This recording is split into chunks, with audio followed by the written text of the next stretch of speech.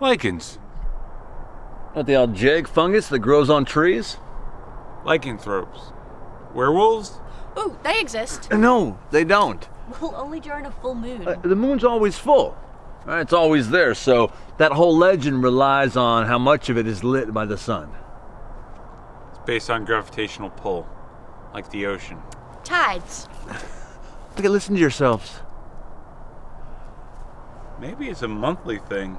You know, like a menstrual cycle. Werewolfism would explain their habitual crabbiness.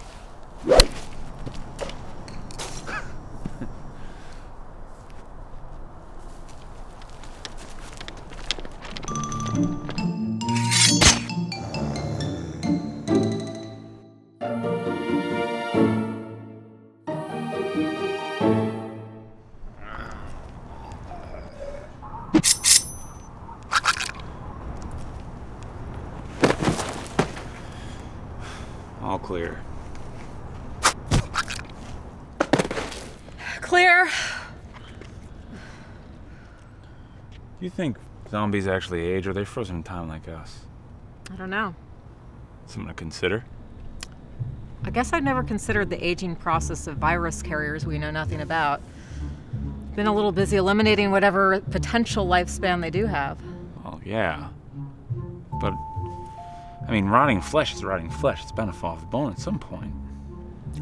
Are you implying there's some kind of zombie shelf life? I figure at a certain point they just cease to function. You know, I, I've seen molded peaches that aren't peaches. They just turn some sort of stationary mush.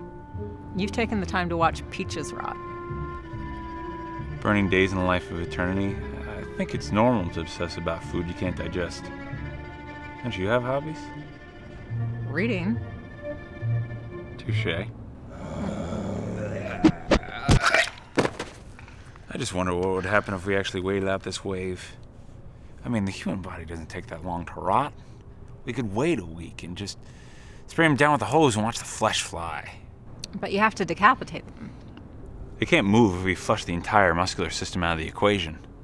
I'm intrigued. Incoming. Ah!